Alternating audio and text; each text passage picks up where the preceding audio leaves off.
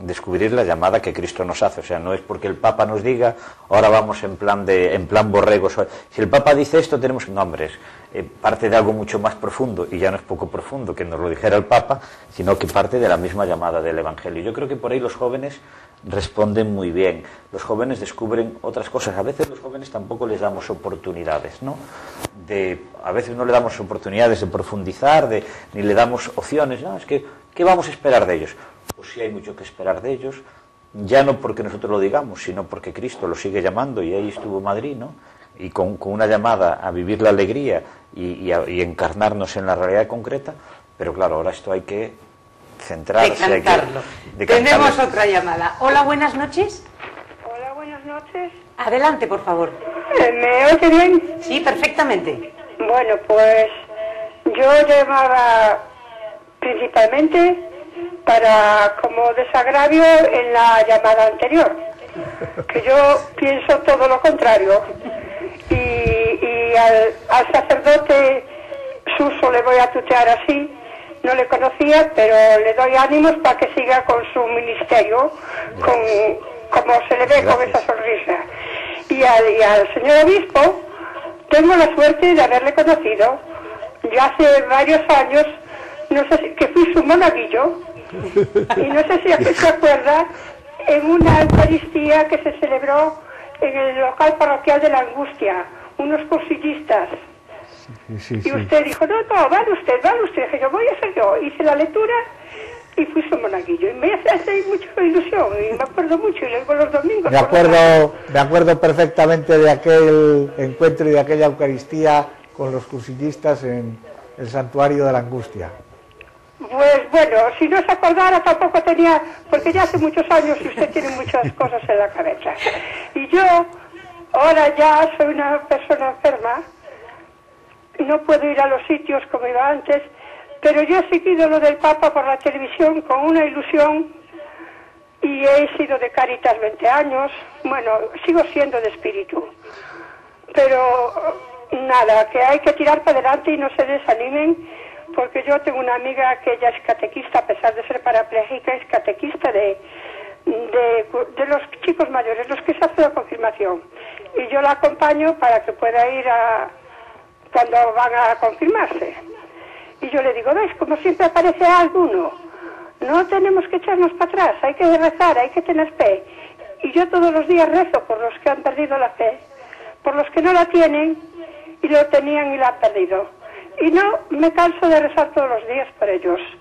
Y como yo, hay muchas otras personas y que en España no se va a acabar la fe. Y si vienen sacerdotes de otro lado, pues los tenemos que aceptar también. También nosotros hemos ido y vamos. Y yo con mi oración desde casa, pues desde casa y desde la iglesia, que gracias a Dios no puedo ir malamente, pero voy. Pues estoy siempre animada. Pues muchísimo. no poder ir a los cursillos ya, pero ¿qué le vamos a hacer? Pues... Y mucho ánimo. Me alegra mucho todo lo que están diciendo y, y, yo con mi oración trataré de seguirles ayudando, porque de otra forma ya no puedo. Pues muchísimas gracias por su colaboración. yo creo que he apuntado aquí una cosa muy importante. Puede ser que sin querer pues nos hayamos fijado mucho en la organización, en lo exterior, en que ha salido una cosa bonita, que ha salido una cosa atractiva, pero todo esto se ha sostenido porque ha habido enfermos que han rezado, que se han sacrificado, que han ofrecido su dolor y su sufrimiento, porque ha habido monjas de clausura que han estado rodilla en tierra pidiendo por los frutos de la Jornada Mundial de la Juventud.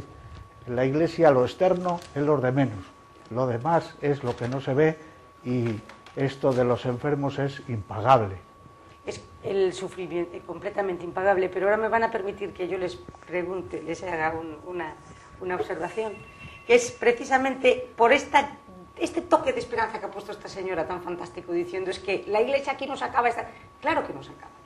Hablábamos al principio, del, antes del programa, del milagro de Lerma. En Lerma, señores, está ocurriendo una cosa extraordinaria.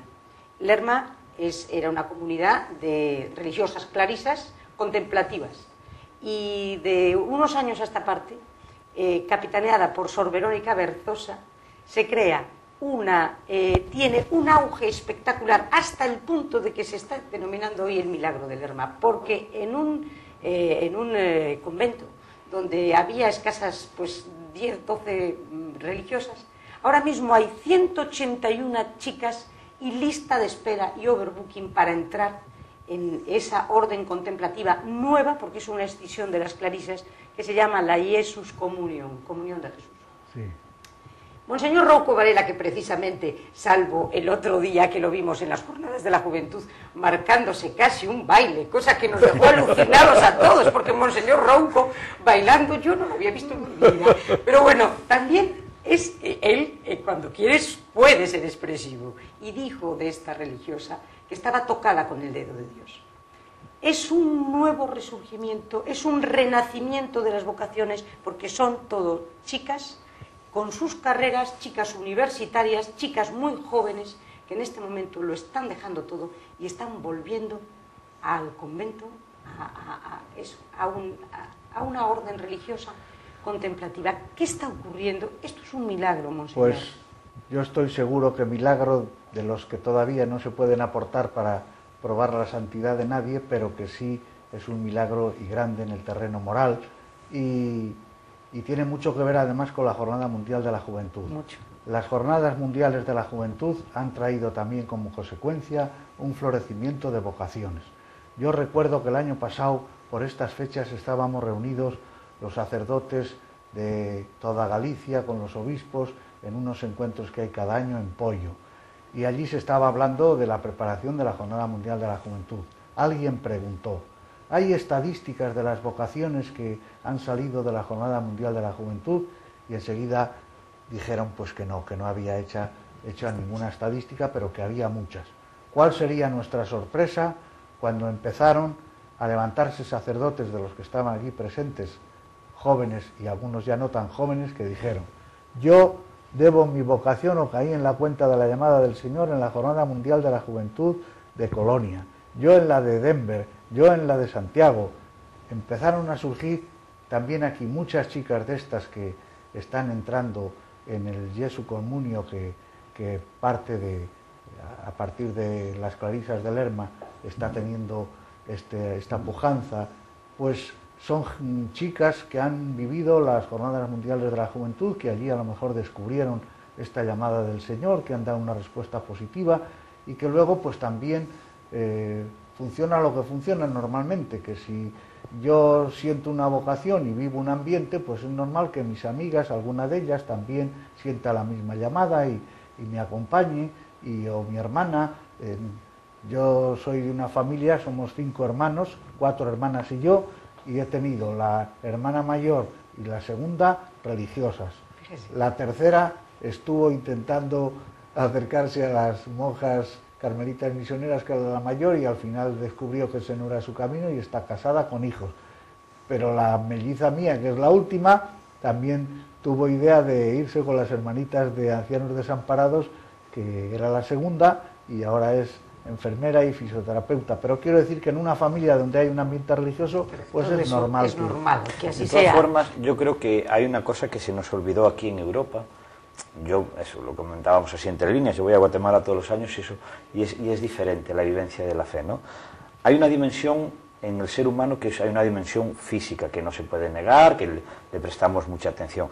Cada vez más estamos descubriendo la dimensión psicoafectiva y sabemos que ya desde el principio a los niños es muy importante irlos encauzando, muy importante la caricia, el contacto. Pero hay una dimensión que es universal tanto en el tiempo como en el espacio, que es la dimensión trascendental. Y no hay ninguna época de la historia de la humanidad, ni en ninguna parte del mundo, en donde el ser humano no crea en algo, ¿no? En una, una creencia trascendente. De repente ahora aquí nosotros queremos darle una sequía a esta dimensión y eh, lo que tiene que hacer es de repente, pues mira, tienes una sed que tienes que darle, porque hay que darle una respuesta. Y si no le das una respuesta y no llenas con eso, no llenas la sed de trascendencia con algo puro, pues ahí estamos con los programas, con, con, ciertos programas de televisión que llama gente de todas las horas buscando soluciones mágicas, claro. ahí están las setas resurgiendo e invadiendo por todas las esquinas, pero ¿por qué? Porque la gente tiene una dimensión que, a la que le tiene que dar respuesta. Entonces, de repente, se encuentra a lo mejor con la frescura de una comunidad como esta, pero hay muchos más, mucho,